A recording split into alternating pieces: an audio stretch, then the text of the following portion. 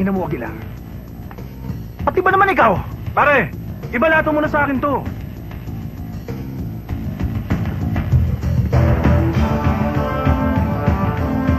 Hello? Kung gusto mo, sasama kita sa Perol. Ang kapal na mukha mo. Ikaw ang isasama ko.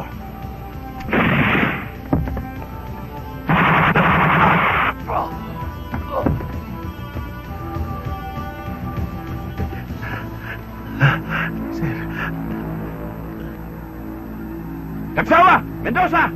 May tama si Rojas!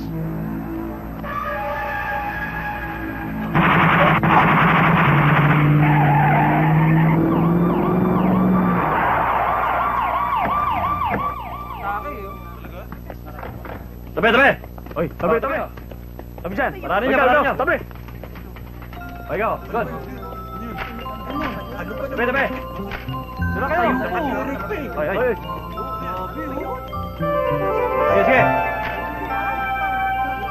Paranin niyo, paranin niyo! Tabi!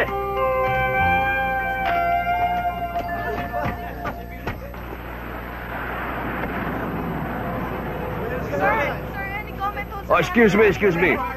Basta wag muna tayo magbigay ng spekulasyon. Maaaring pagmula ng panik. Basta may papangako ko sa inyo, masasalbang kaso. Sir, after operation report ng raid namin kagabi. Sa hideout nung carnapping syndicate, yung Parakayo sa Gadangang.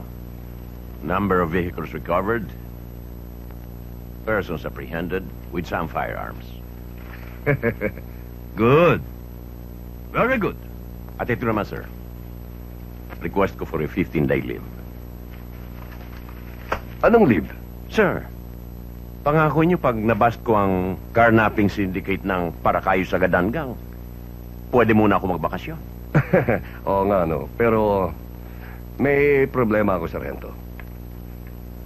Kailangan ko ng taong hahawak doon sa namatay sa loob ng motel. Sir, ang dami namang ibang investigador dyan na pwedeng humawak ng kasong yan. Simple lang ang kasong ito. Ang gusto ko, ikaw ang humawak. Madali lang yan.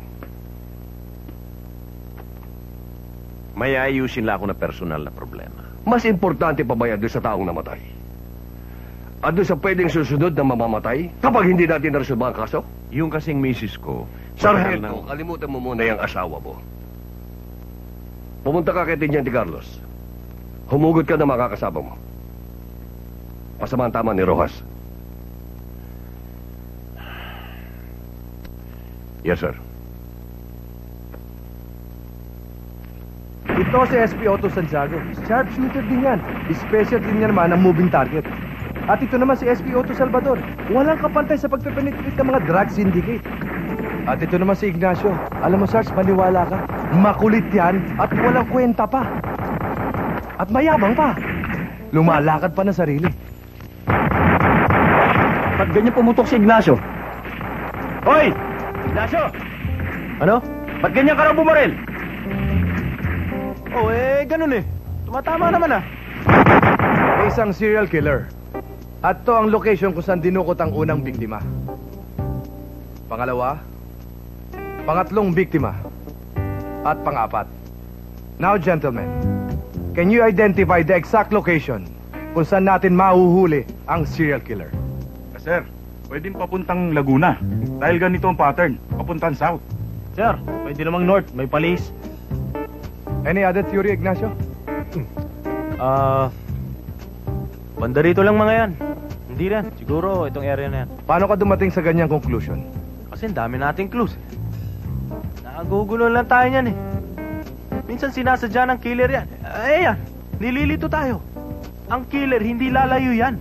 At yung mga pinapatay ng killer, yung mga taong nasa paligid niyan. Yung lagi niya nakikita. At yung mga nakakasama niya lagi. Well said, Ignacio. Ha? Ano ang gagawin niyo sa gantong klaseng senaryo? Naubusan na kayo ng bala. Pero ang problema, meron pa kayong tatlong natitirang kalaban. Sir, makikipagsuntuko na lang ako. Kung may dala pa akong ibang gamit, tulad na lanseta, gagamitin ko. Ignacio? Ah, may pala ba yung kalaban? Of course meron. Kung wala, di wala sanang problema. Ano pa ibang paraan?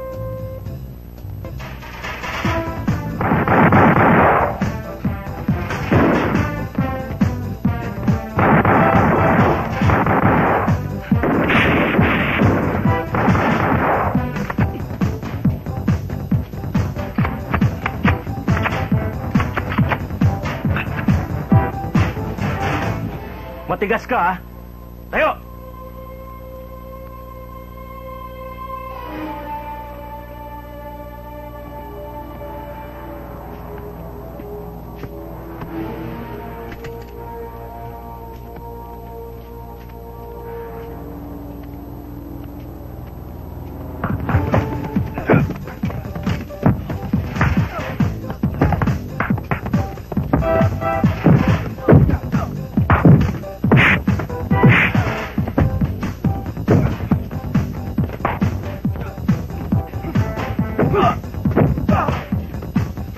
Opo. Tayo!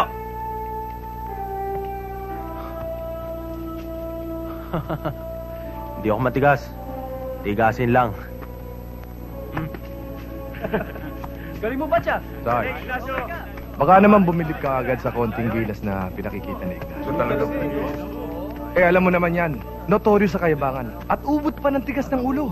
Mas gusto ko nga, sir, ang matigasan. Malaking challenge para sa akin pag napalambot ko ang ulo niya. Na parang nilupak kamuting ka.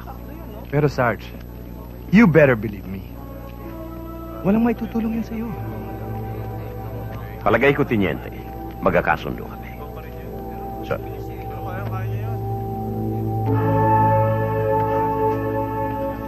Ito ang dalawang tinamad ng huminga.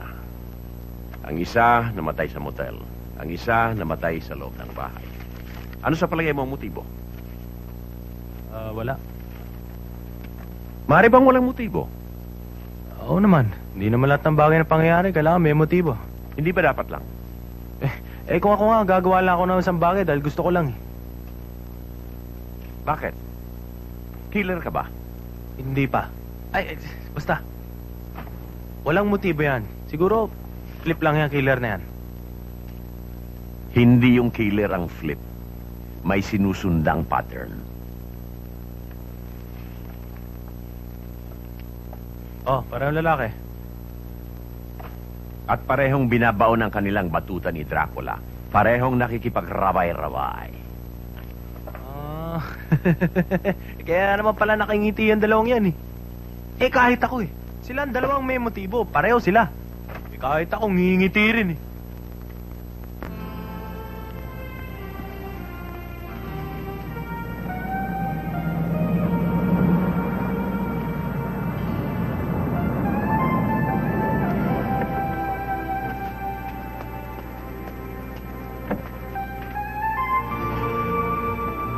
O, sige na.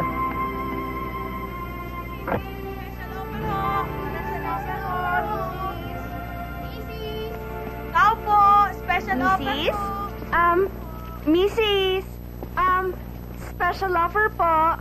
Ah, ah, hindi ako interesado. Eh sige kayo, baka magsisiring kayo. Eh bigyan nyo lang ako ng ilang sandali lang at sigurado ho ako na magbabago talaga ang takbo ng buhay nyo. Baretang panlaba lang magbabago ang takbo ng buhay ko? Mrs. Hindi naman nasubong palaba yung dala ko eh. Sige na, Miss, bumili na kayo. Five minutes lang. Eh, hindi ka makulit, no? Ito ho yung aming A beauty product. Vitamin A. Ay, naku, Miss. Hindi lang ho vitamin A ang ibibigay nito. Alindog, Mrs. Meron ho kaming alindog shampoo para ho dumulas ang inyong buhok. Alindog sabon para naman ho kuminis ang inyong kutis. At alindog lotion para naman ho lumambot ang inyong. Effective ba yan? Nako, Mrs. Guaranteed your money back. At garantisadong hindi makakapigil ng walang katigil-tigil Miss Thames. Totoo? Pero hindi na pwede manggigil si Mister eh. Ay, nako, Mrs. Kung meron kayo pampalambot, meron din ako pampatigas. Tama-tama, Mrs. Meron akong Bihaga capsules. Para sa problema nyo. Para saan yan? Nako, Mrs. Bihaga capsules. Para ho hindi kayo maulis tindig. Effective ba yan? Eh, di subukan nyo. Magkano? 300 pesos sa bawat tablet. 300? Eh, sa mga drugstores nga, oh, 450 nga ho to eh. At misis, tandaan nyo, erection is a generic name of Bihaga. And you don't need any prescription.